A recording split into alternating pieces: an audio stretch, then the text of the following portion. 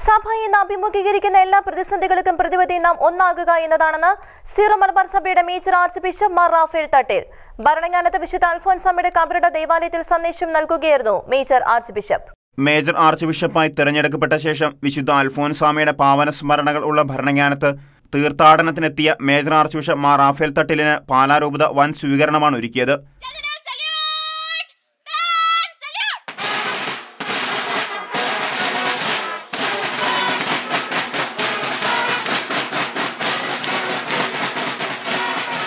പാലാരൂപത സിഗ്രോ മലബാർ സഭയ്ക്ക് നൽകുന്ന എല്ലാ സേവനങ്ങളെയും നന്മകളെയും പിതാവ് നന്ദിപൂർവം ഓർത്തു. സിഗ്രോ മലബാർ സഭയുടെ നല്ല വീഞ്ഞ് സൂക്ഷിച്ചു വെച്ചിരിക്കുന്നത് വില കൂടിയ രത്നങ്ങൾ സൂക്ഷിക്കുന്നത് പാലാരൂപതയിലെ ഭരണങ്ങാനത്തും രാമപുരത്തും കുറവിരങ്ങാടുമാണെന്ന് പിതാവ് കൂട്ടിച്ചേർത്തു. സിറോ മലബാർ സഭയുടെ മാവിൽ ഒളിപ്പിച്ചു വച്ചിരിക്കുന്ന പുളിമാവാണ് പാലാരൂപത. സിറോ മലബാർ സഭയുടെ പുളിപ്പ് നഷ്ടപ്പെടാതെ സൂക്ഷിക്കാൻ എന്നും പാലാരൂപത ബദ്ധശ്രദ്ധയായിട്ടുണ്ട് എന്നുള്ളത് പച്ച പരമാർത്ഥമാണ് വാസ്തവം മാത്രമാണ്. കാനായിലെ കല്യാണ വിരുന്നിന് കർത്താവ് അത്ഭുതം ചെയ്ത ശേഷം വീഞ്ഞ് രുചിച്ചു നോക്കിയ കലവറ പ്രമാണി ചോദിക്കുന്ന ഒരു ചോദ്യമുണ്ട് ഈ മേൽത്തരം വീഞ്ഞ് എവിടെ നിന്ന്? സുറമൽബാർ സഭയുടെ മേൽത്തരം വീഞ്ഞ് സൂക്ഷിക്കുന്ന ഭരണി